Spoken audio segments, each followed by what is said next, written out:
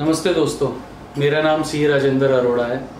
और दोस्तों, आज हम इकट्ठा हुए हैं आठ नोटिफिकेशंस जो 26 जुलाई की रात को इशू हुई हैं, उनके बारे में डिस्कस करने के लिए जीएसटी की दोस्तों जीएसटी काउंसिल 21 जुलाई को मिली। उन्होंने अपने प्रपोजल्स दिए बहुत सारे और अपनी प्रेस रिलीज़ में उन्होंने ये लिखा, जो कि मैंने बताया था अपनी पिछली वीडियोस में कि हम ये सारे प्रपोजल्स का इफ़ेक्ट जो है वो 27 जुलाई तक ले आएँगे। और जैसा उन्होंने कहा, वैसा उन्होंने किया। और इंटरेस्टिंग बात देखने वाली ये है दोस्तों कि 26 जुलाई की रात को जब पूरा देश सो रहा था तो हमारा डिपार्टमेंट हमारे अफसर जाग रहे थे और ये नोटिफिकेशंस बनाकर रिलीज़ कर रहे थे। This is a very commendable job on their part और ये हमेशा ही वो कर रहे हैं रेगुलरली जब से जीएसटी आया, हम देख रहे हैं। दोस्तों, आठ नोटिफिकेशंस हैं और इन आठ नोटिफिकेशंस में उन्होंने डिफरेंट डिफरेंट प्रपोजल्स को इफ़ेक्ट दिया है। मैं बताना चाहूँगा, सारे नोटिफिकेशंस का इफ़ेक्ट एप्लीकेबिलिटी आज मतलब 27 जुलाई 2018 से है। और 27 जुलाई 2018 से क्या मतलब है? To my understanding midnight of 27 July zero hours रात 12 बजे से इसकी एप्लीकेबिलिटी हो चुकी है ऑलरेडी दोस्तों। दोस्तों, पहला नोटिफिकेशन 13 बटे 2018 है। इस नोटिफिकेशन में आपको बताना चाहूँगा दोस्तों, जो नोटिफिकेशन मैं बताऊँगा, उसको मैं लिंक करूँगा पुराने नोटिफिकेशन से। जिस नोटिफिकेशन में उन्होंने चेंज किया, इस नोटिफिकेशन के थ्रू 13 बटे 2018 में उन्होंने 11 बटे 2017 में चेंज किया, जिसमें उन्होंने रेट ऑफ़ सर्विसेज़ की बात की। रेट ऑफ़ सर्विसेज़ यहाँ पर उन्होंने सबसे पहला चेंज जो है, बड़ा इंटरेस्टिंग चेंज है। ये बात हम पहले कर चुके हैं। मैं दोस्तों अपने व्यूअर्स के लिए बताना चाहूँगा कि इस वीडियो में हम बहुत डिटेल डिस्कशन नहीं करेंगे प्रपोजल्स का, लेकिन कुछ कुछ बातें डिस्कस करेंगे। मैं अपने व्यूअर्स से रिक्वेस्ट करूँगा for detail discussion on these aspects only पिछले दो वीडियोस हमने प्रपोजल्स के ऊपर रिकॉर्ड किए आप प्लीज़ उनको देखें। डिक्लेयर टैरिफ जहाँ क्या था कि होटल्स जो हैं, जो कि इन्स हैं गेस्ट हाउसेस हैं, उनके ऊपर डिक्लेयर टैरिफ का एक कंसेप्ट था कि अगर आप डिक्लेयर टैरिफ आपका एक स्पेसिफिक अमाउंट से ज़्यादा होगा तो रेट ऑफ़ टैक्स ही होगा। चाहे आपने डिक्लेयर टैरिफ पाँच हज़ार, सात हज़ार रुपए का रखा है, लेकिन उसका जो प्राइस आपने को दिया, जिस प्राइस पर आपने रूम दिया, वो आपके डिक्लेयर टैरिफ से कम है, लेकिन टैक्स लगता था डिक्लेयर टैरिफ के अनुसार। किस अमाउंट पर, जिस अमाउंट को आपने चार्ज किया तो थोड़ी सी नॉर्मली थी तो उन्होंने चेंज किया उस बात को। उन्होंने कहा भी हम डिक्लेयर टैरिफ की जगह वैल्यू ऑफ़ सप्लाई को कंसिडर करेंगे। अगर वैल्यू ऑफ़ सप्लाई पाँच हज़ार या उससे ज़्यादा है तो अठारह परसेंट लगेगा या जो भी रिस्पेक्टिव रेट है। तो declare tariff is substituted with the value of supply with effect from twenty July सारे होटल्स इस बात का ध्यान रखें। उसके बाद इन्होंने एक इंटरेस्टिंग चेंज किया आउटडोर कैटरिंग के बारे में। इन्होंने जो हम पहले भी बात कर चुके हैं, मैं थोड़ा सा हिंट दूँगा दोस्तों यहाँ पर। आउटडोर कैटरिंग में उन्होंने स्पेसिफिकली कहा है event based and occasional in nature और कहाँ पर वो आउटडोर कैटरिंग होनी चाहिए? Exhibition halls events conferences marriage halls and other outdoor indoor function that are event based and occasional in nature rate of tax अठारह percent ही रहेगा। एक नई एंट्री सर्विसेज़ में जोड़ दी गई है, ग्यारह बटे दो हज़ार सत्रह में, और वो है मल्टी मॉडल ट्रांसपोर्टेशन जहाँ पर एक से ज़्यादा मोड ऑफ़ ट्रांसपोर्ट मतलब एयर से माल लाया गया रोड से दिया, ले जाया गया। मल्टी मॉडल ट्रांसपोर्टेशन एक नई एंट्री गुड्स ट्रांसपोर्ट सर्विसेज़ में जोड़ दी गई है। 12 परसेंट रेट लगेगा फुल इनपुट टैक्स क्रेडिट मिलेगा।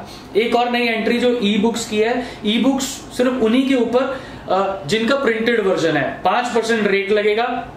इनपुट टैक्स क्रेडिट पूरा मिलेगा क्योंकि कोई ज़िक्र नहीं किया। अगली नोटिफिकेशन 14 बटे 2018 है, जो एग्जामेशन के बारे में ज़िक्र करता है। तो पहला एग्जामेशन एक नई एंट्री है ओल्ड एज होम की, जो मैं आपको बता चुका हूँ। अगर सेंट्रल गवर्नमेंट कोई ओल्ड एज होम चला रही है स्टेट गवर्नमेंट कोई ओल्ड एज होम चला रही है, या कोई भी ऑर्गेनाइजेशन जो 12 double A of income tax में रजिस्टर्ड है, वो ओल्ड एज होम चला रही है, और अपने रेजिडेंट से जो वहाँ पर लोग रहते हैं, उनसे पच्चीस हज़ार रुपए तक, पच्चीस हज़ार रुपए तक तक पैसे ले रही है for boarding lodging maintenance everything तो उसकी सर्विसेज़ को एग्ज़ाम कर दिया गया है। उसके बाद power distribution companies power distribution company जो एग्रीकल्चरल सर्विसेज़ मतलब अगर आपने मीटर इंस्टॉल करना है लाइन इंस्टॉल करनी है ट्यूबवेल तक पावर डिस्ट्रीब्यूशन के लिए तो जो अगर आपने चार्जेस लिए हैं, वो एग्ज़ाम कर दिए गए हैं। एक एंट्री और थी जो कि एग्जामेशन में थी।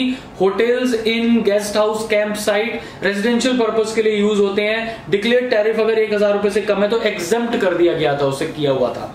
डिक्लेयर टैरिफ यहाँ भी वर्ड यूज़ हुआ है। उस डिक्लेयर टैरिफ को इन्होंने वैल्यू ऑफ़ सप्लाई कर दिया। दोस्तों, इससे भी इन सब तरह की ऑर्गेनाइजेशंस को बहुत फ़ायदा होने वाला है, क्योंकि इनका डिक्लेयर टैरिफ हज़ार रुपए से, मान लीजिए पंद्रह सौ रुपए है, चौदह सौ रुपए, और हमने कस्टमर से जो चार्ज किया उसका, वो किया मान लीजिए नौ सौ रुपया। तो टैक्स हमने चार्ज नौ सौ रुपए किया है, लेकिन उसका पंद्रह सौ वैल्यू है तो एग्जामेशन की कैटेगरी में नहीं आता था। अब declare tariff is substituted with value of supply अगर मैंने नौ सौ रुपया चार्ज किया तो वो एग्ज़ाम रहेगा, साढ़े नौ सौ नौ सौ नब्बे, एक हज़ार तक चार्ज किया तो एग्ज़ाम रहेगा। उसके बाद दो एंट्रीज थी यहाँ पर कि अगर आप एयर से material outside India freight forwarders के लिए या सी से मटेरियल आउटसाइड इंडिया फॉरवर्ड करते हैं फ्रेट फॉरवर्डिंग करते हैं, उसके लिए जो फ्रेट चार्ज करते हैं वो एग्ज़ाम थी 30 सितंबर 2018 तक, उसको एग्जामेशन को बढ़ा दिया 30 सितंबर 19 तक, ध्यान रखिएगा दोस्तों।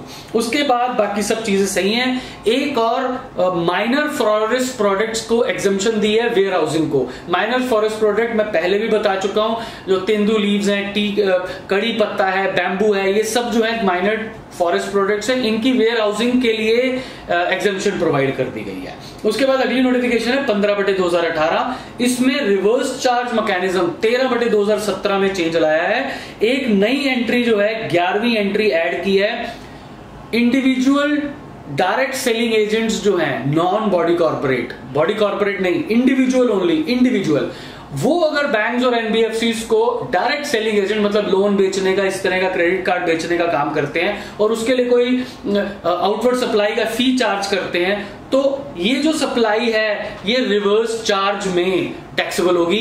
इंडिविजुअल डीएसए हूँ तो मुझे चार्ज नहीं करना टैक्स बैंक या एनबीएफसी जो भी रेसिपियंट है, उसको टैक्स चार्ज करना है। एक और बड़ी इंटरेस्टिंग चेंज जो 15 बटे 2018 में आया, तेरह बटे दो जो रिवर्स चार्ज की नोटिफिकेशन है, उसके चेंज किया उसमें। एक एक्सप्लेनेशन ऐड की, लिखा renting of immovable property renting of immovable property means दोस्तों, यहाँ पर ये जो एक्सप्लेनेशन ऐड की है रेंटिंग ऑफ़ इमूवेबल प्रॉपर्टी को डिफाइन किया है एक तरीके से। लेकिन मुझे ये बात समझ नहीं आई।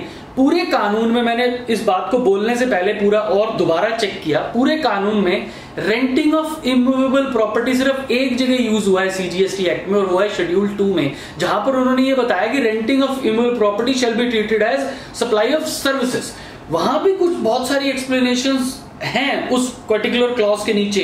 लेकिन वहाँ renting of immovable property defined नहीं है। रिवर्स चार्ज की नोटिफिकेशन में renting of immovable property use होता है सर्विसेज़ जो सेंट्रल गवर्नमेंट या स्टेट गवर्नमेंट ने प्रोवाइड की हैं। यहाँ पर रेंटिंग ऑफ़ इमल प्रॉपर्टी को डिफाइन करने का पर्पज मुझे समझ नहीं आया। अगर इसको डिफाइन ही करना था it should have been defined in schedule one लेकिन उसके लिए मुझे लगता है एक्ट बदलने की ज़रूरत थी। एक्ट में चेंज का प्रपोजल नहीं आया, इसलिए उन्होंने नोटिफिकेशन के through renting of immovable property को डिफाइन कर दिया। डेफिनेशन क्या है? Renting of immovable property means ये भी बड़ी इंटरेस्टिंग डेफिनेशन है समझने वाली। अलाउइंग परमिटिंग और granting access entry occupation use और एनी सच फैसिलिटी होली और partly in an immovable property, mark now these words, with or without the transfer of possession or control of said immovable property. With और without अगर without transfer और control और possession of said property भी है तो भी उसे renting कहेंगे दोस्तों अब यहाँ पर क्वेश्चन अराइजेस होने वाले हैं बहुत सारे तो ये आपकी नॉलेज के लिए बता दिया इस पर्टिकुलर डेफिनेशन के ऐड होते ही बहुत सारी सर्विसेज़ जो रेंटिंग ऑफ़ इमल प्रॉपर्टी में नहीं आ रही थी आ जाएँगी दोस्तों। नोटिफिकेशन 18 बटे 2018 जिसमें rate of tax of goods को चेंज किया है, वो 27 जुलाई, जितने भी रेट ऑफ़ टैक्स चेंज हुए हैं गुड्स के 28 से 18 बहुत सारे गुड्स के रेट आए हैं, वो आज मिडनाइट से आ गए हैं दोस्तों। अगली नोटिफिकेशन 19 बटे 2018 इसमें एग्जेम्प्ट गुड्स बढ़ाए गए हैं। और एग्जेम्प्ट गुड्स की लिस्ट को बढ़ाया गया है, जैसे कि भगवान की मूर्तियाँ हैं, पत्थर की लकड़ी की, और किसी चीज़ की बनी हुई राखी है। Rakhi is also been exempted from today सत्ताईस जुलाई। लेकिन प्रेशियस और सेमी प्रेशियस मेटल से बनी हुई सोने चांदी की राखी नहीं दोस्तों नॉर्मल राखी एग्जेम्प्ट है। Sanitary napkin have become exempted today आखिरी नोटिफिकेशन 20 बटे 2018 है दोस्तों। यहाँ पर भी एक इंटरेस्टिंग चेंज किया गया है। दोस्तों हमें याद होगा कि जो हमारे फैब्रिक मैन्युफैक्चरर्स हैं वो fabric manufacturers material inward supplies लेते थे 12, 18, 28 पे और उनका फैब्रिक बिकता था पाँच परसेंट पे। तो उसकी वजह से उनका जो इनपुट टैक्स क्रेडिट है वो एक्यूमुलेट होता जाता था अनयूटिलाइज रहता था जिसका कि पाँच बटे दो की नोटिफिकेशन आई सत्ताईस जून को। At the time of implementation of the law कि इसका जो एक्यूमुलेटेड क्रेडिट है, इसका रिफंड हम फैब्रिक मैन्युफैक्चरर्स को नहीं देंगे। उसमें चेंज लाया गया। इन्होंने कहा कि रिफंड देंगे। उस एक्यूमुलेटेड क्रेडिट का जो एक अगस्त के बाद शुरू हुआ है, एक अगस्त से शुरू हुआ है रादर लेकिन एक इंटरेस्टिंग चेंज जो यहाँ पर लाया गया, उन्होंने कहा कि जुलाई 2018 तक मतलब 31 जुलाई 2018 तक का जो भी एक्यूमुलेटेड क्रेडिट है with respect to such goods मतलब फैब्रिक मैन्युफैक्चरर्स की बात कर रहा हूँ, अगर उनके पास 31 जुलाई 2018 तक कोई भी एक्यूमुलेटेड क्रेडिट है, वो लैप्स हो जाएगा, ये नोटिफाई कर दिया उन्होंने दोस्तों 27 जुलाई 2018 को। इसका मतलब ये हो गया कि जो भी क्रेडिट मेरी बैलेंस शीट्स में खड़ा है, वो क्रेडिट नहीं नाउ इट बिकम एक्सपेंस तो 31 मार्च 2018 का ऑडिट करते हुए हमें इस बात का ध्यान भी रखना होगा कि वो क्रेडिट की तरह ना खड़ा हो, बल्कि should be charge to revenue ना हो दोस्तों, ये टोटल आठ नोटिफिकेशन हमने आपके साथ डिस्कस की हैं। हमारा वीडियो देखने के लिए बहुत बहुत शुक्रिया। और please subscribe our YouTube channel thank you very much friends